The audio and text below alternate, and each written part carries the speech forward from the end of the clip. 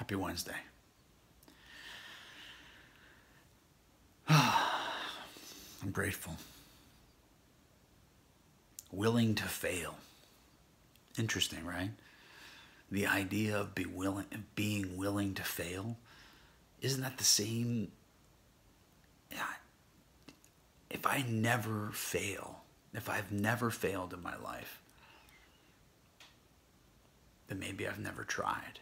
If you've never failed, I mean, you're amazing. But have you pushed yourself to the edges? If a child quit after they failed once, they probably would not be walking. We've all failed. So the idea that no one's ever failed is an illusion.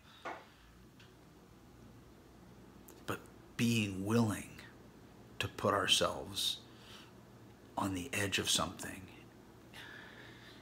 is that it's that kind of I don't know for me it's that that shortness of breath that's amazing and scary and exciting and means I've got something to lose. But there's nothing to lose, right? The only thing I have to lose in those moments,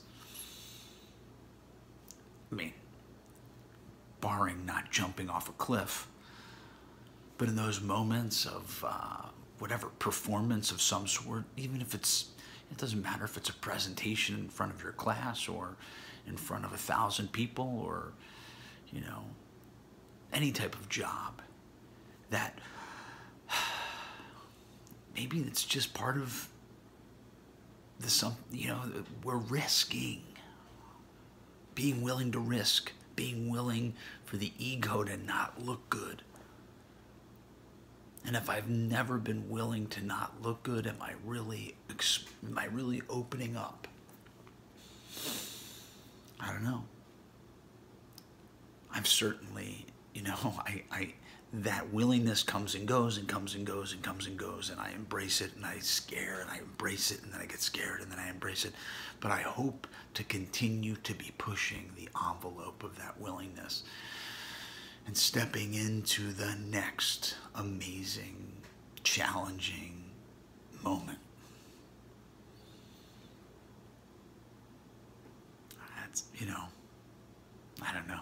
That's life it, to me right here, right now.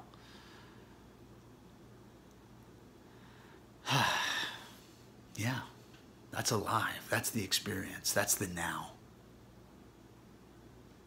I don't know. Much love.